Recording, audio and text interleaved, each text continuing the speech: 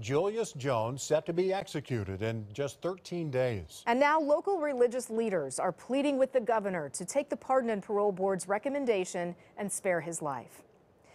Jones, convicted in the 1999 murder of Edmond father Paul Howell, News 4's Brya Berry joins us with details on today's happenings. Brya. Well, that's right, Heather. And the pastors are asking for the governor to show Julius Jones some mercy. They believe if the governor does not, the decision could spark civil unrest.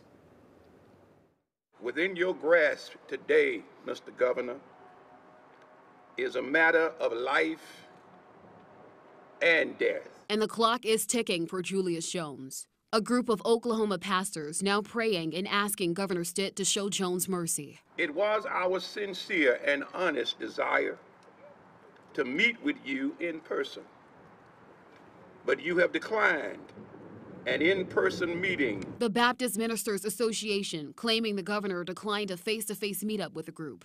And now they are gathering in front of the Capitol, praying Stitt commutes Jones's sentence. He's on death row for the murder of Edmond businessman Paul Howell in 1999, a murder he says he didn't commit. I am not the person responsible for taking Mr. Howell's life. For the first time in 20 years, Jones speaking out at his pardon and parole clemency hearing Monday. I was not present during this robbery, and I did not know that anyone had been killed until the day after Mr. Howell was murdered. The victim's family also pleading with the governor to move forward with Jones's execution and hoping he does not grant clemency. He isn't innocent. He isn't a good person.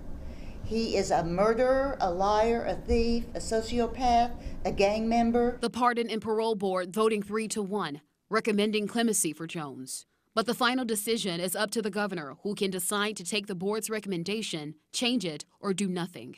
And if he does nothing, Jones will be executed on November 18th, barring any last minute stays. We simply believe, as believers, that our state should not take a life that it cannot give. Wednesday, the attorney representing Jones and three other death row inmates filing this appeal, claiming the Oklahoma's execution protocol is using inmates as human guinea pigs. News 4 tried to get a comment from the governor's office, but we have yet to hear back. On Monday, he said he will not have a comment until he has made a final decision in the case. And now, faith leaders are afraid about what could happen if the governor denies clemency. We are also very concerned about the potential for civil unrest if the state proceeds with the execution of Mr. Jones.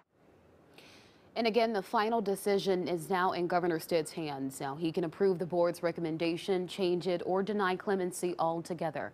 If he denies clemency, Jones would be executed on November 18th.